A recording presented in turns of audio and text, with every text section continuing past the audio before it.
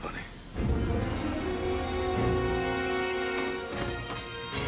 All right, now I'm a little worried.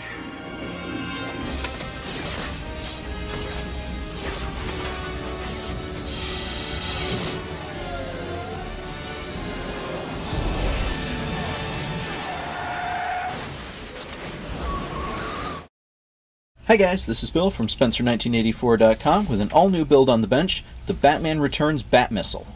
I'm doing this as part of the Amazing Scale Modelers group build, which for anybody who knows me, knows that as soon as they announced it was a Batman theme build, I was going to have to get in on it. This kit's been sitting around for a while, and this was the perfect time to get it out and get it built. I am going to be doing it a little different from some of the other builds that I've seen though. Uh, specifically, I'm going to be making it look like the Bat Missile came from this. Now, this is my 92 returns car, which I built at the same time as the 89 car, and tried to get as many specific details correct to each movie as I could. Uh, in this case, it's got windshield wipers, it's got some slightly different interior detailing, but the biggest difference is the paint scheme. This had a glossier black paint job, black wheels, black turbine intake, and so this is the color scheme that I'm going to be starting with for my bat missile. So let's take a look at the kit and see what I've got to work with. Okay, so starting off with the body, you can see it's pretty good representation of the center fuselage. Got some nice detailing back here. But it does lack the split seam down the middle where the halves of the cockpit came together. So I'm going to have to add that. And some pretty nice detailing here on the sides as well.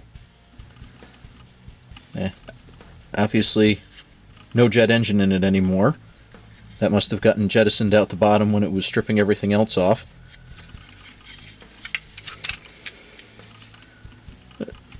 Pretty basic, but definitely workable. And the first sprue that we've got here, got the seat, side intakes, suspension components, and the axles and wheel carriers. And what it's supposed to be is these are supposed to fit up in here and carry the wheels, which I'm going to be doing that a little bit different as well. I'm going to be using some of these, uh, doing a little bit of scratch building though, and actually using the wheels and tires from the Batmobile kit on this. Because what they did in this is they gave you eight tires to kind of create a little more stability for the shelf model and also make things a little sturdier for play. But I don't need to worry about that. So I'm going to be using the wide tires on the back, just like the original Batmobile had. And I'm going to be offsetting the front tires so that they sit closer to centered under the car. And probably not using any of these. And the second sprue has cockpit bucket, canopy, front intake, the narrowed dashboard, and all of the wheels, and finally the steering wheel and the throttle levers.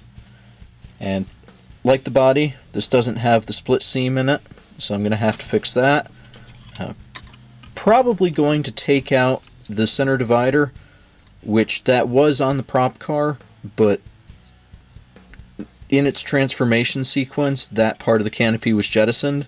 So really there should only be a break in the glass right there. And that's what I want to replicate. And next up we got the chrome sprue. You got the four outer wheels, four inner wheels, exhaust, afterburner, and this up here is the turbine intake. Casting looks pretty good on it. None of this is going to stay chrome. Uh, afterburner and the nozzle are going to end up being a dark gunmetal. The intake is going to be a glossy black to match the body. And since I'm going to be using different wheels and tires, those will just end up in the parts box. And then the last thing is the glass. And for some reason they went with tinted on this, which is a little unfortunate because none of the Batmobile kits have tinted glass. I might see if I can use something out of one of them, or maybe just scratch build something. Uh, we'll see as I build it. And so there you go. The next project. This should be a pretty fun project and something I'm really looking forward to. Uh, next week, though, is going to be the next update to the Hidden Figures 57 Chevy. And then this will be the following update. So be sure to check back for updates on both of those. Thanks for watching.